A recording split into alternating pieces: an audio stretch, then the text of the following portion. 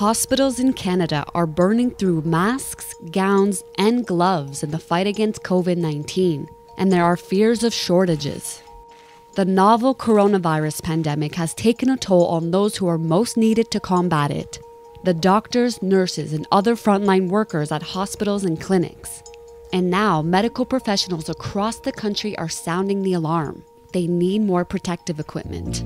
You can't have doctors, nurses, respiratory therapists, uh, orderlies, any cleaning staff. Like, you can't have us going out there and us getting sick and dying because it means there's no one left to take care of you.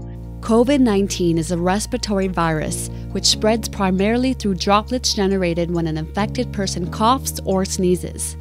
Canadian guidelines suggest healthcare staff testing patients for suspected COVID 19 or working directly with infected patients need the following. A surgical mask, gloves, eye protection such as goggles or even better, a face shield, and a gown designed to repel fluids. Only certain frontline medical staff are required to upgrade to an N95 mask, which provides workers better protection. These masks are especially needed when performing procedures that may cause virus particles to remain suspended in the air, such as intubation. But some healthcare workers say the guidelines in Canada don't go far enough, and many are anxious about what they consider to be a lack of protection. If I'm infected and I see 20 patients a day, then I'm giving you the virus, and then you're going to go home and spread it to all of your contacts. And that's how we get that exponential spread. And I would be spreading it to the sickest people because they're the ones who are coming to the hospital.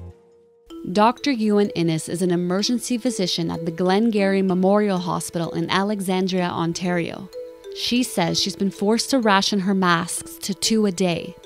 Ideally, workers change masks between each patient, which means on an average shift, they can go through 20 masks or more. There are some politicians who are saying there is no shortage. But I can tell you that for those of us on the ground, we see a shortage. Dr. Ewan Innes started an online petition calling on the government to launch a warlike effort to acquire and manufacture protective equipment using whatever means possible. Because China is the largest supplier of personal protective equipment in the world, the global supply took a big hit when the country shut down its factories when the outbreak began.